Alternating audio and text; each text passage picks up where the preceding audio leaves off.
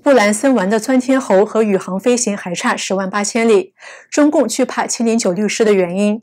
赵子阳旧部高尚全告别式，温家宝露面，江泽民没死。海地第一夫人大难不死，发表公开声明。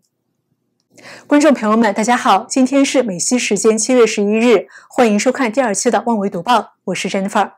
七十一岁的布兰森上了天了。这位富翁乘坐自己公司的维珍银河太空飞机在天上转了一圈，起飞一个小时后返回地面。但是他的飞机和亚马逊的贝索斯的飞船比起真正的宇航员飞行还差得远。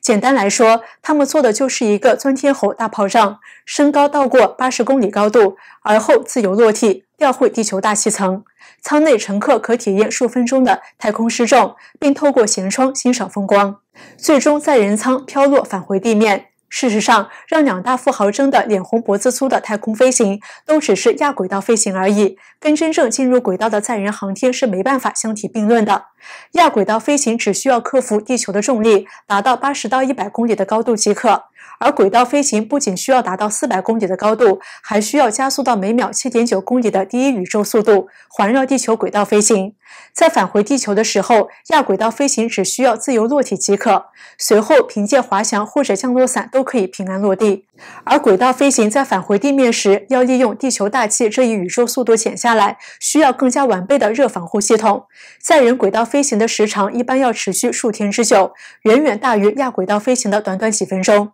需要更加先进的环境控制与生命保障技术。这些技术都需要大量资源和持续研发才能实现。但是对于我们这些普通人而言，想要实现自己的太空梦，大概还是亚轨道飞行更加合适。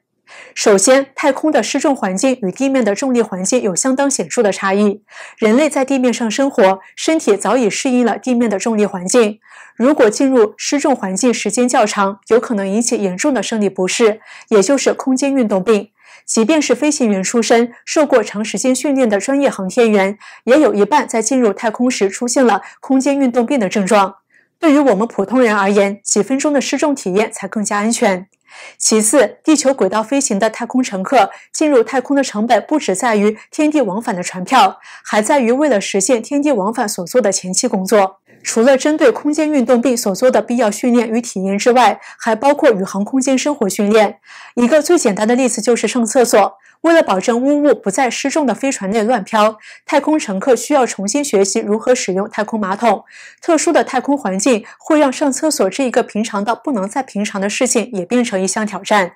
大量的训练工作不仅将极大提升船票的成本，也让轨道飞行难以成为一场说走就走的旅行。而亚轨道飞行的失重持续时间较短，与坐飞机的体验相近，无论从时间成本还是金钱成本来看，都更加适合于普通人。最后，亚轨道飞行的持续时间更短，技术要求更低，飞行器准备周期也更短。比起载人火箭动辄数周乃至数月的发射周期，亚轨道飞行器如果调度得当，完全可以实现几天飞一班，甚至一天飞一班。缩短的飞行周期意味着能接待更多游客，随之进一步摊薄成本。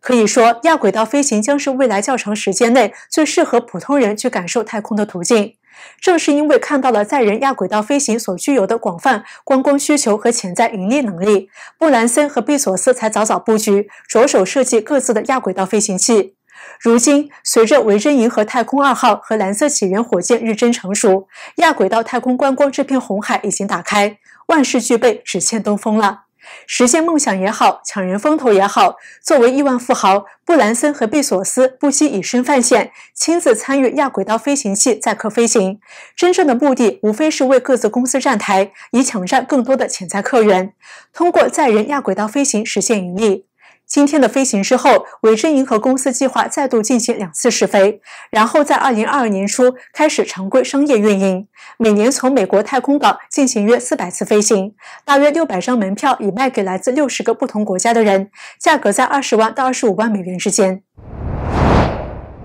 六年前的七月九日，习近平当局在大陆二十三个省份疯狂抓捕了数百名维权律师、维权人士，制造了震惊中外的“七零九”维权律师大抓捕事件。谢艳义律师当年被抓捕，被定为煽动颠覆国家政权罪。他对记者说：“为什么这些人权律师会被抓捕呢？”正如外界所看到的，是因为这些人权律师追求真相、捍卫人权、捍卫正道。中共当局惧怕维权律师，是因为他们让世界更加了解中共的罪恶。通过这些律师的辩护，使得很多的社会公众、老百姓了解到了事情的真相。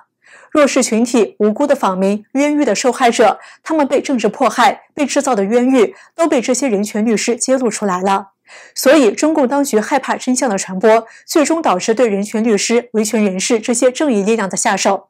事实证明，七零九案发生后，律师群体及家属的抗争，让世界更加了解到了中共的罪恶，了解了真相和事实。不仅他们没有压制住七零九人权律师和所有的受害者申诉、申冤和讲真相的努力，反而使得国际社会给予了更大的关注，也进一步推动了民众加速的觉醒。所以说，正道和良知是不可战胜的。七零九期间被抓捕的著名维权律师有王全璋、谢艳义、王宇、余文生、李和平、唐吉田等，以及七零九之前被抓的高志胜、王永航。其中，高志胜二零零四年至二零零五年曾多次致信中共高层，他写了“必须立即停止灭绝我们民族良知和道德的野蛮行径”。高志胜致胡锦涛、温家宝及中国同胞的公开信。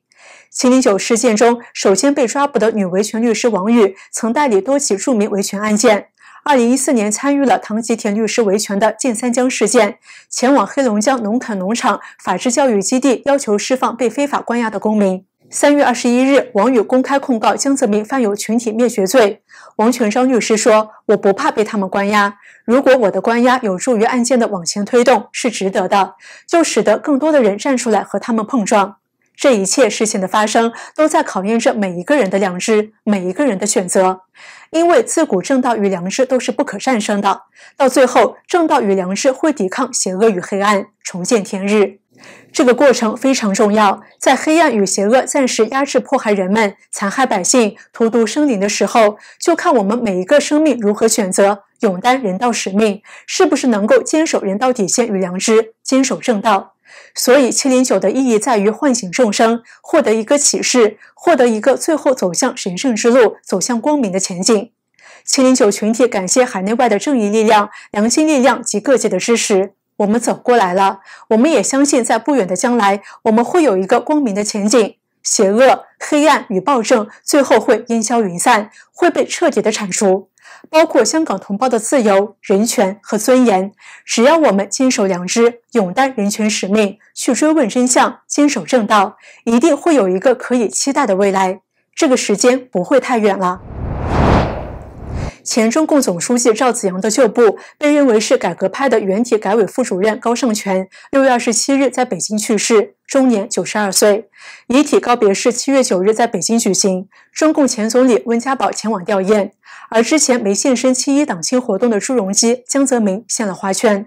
中共国务院副总理刘鹤、前总理温家宝等赴八宝山殡仪馆出席高尚权遗体告别式。中共政治局常委李克强、栗战书、汪洋、韩正及国家副主席王岐山等送去花圈。退休中共高层也送去花圈，包括江泽民、朱镕基、李瑞环等。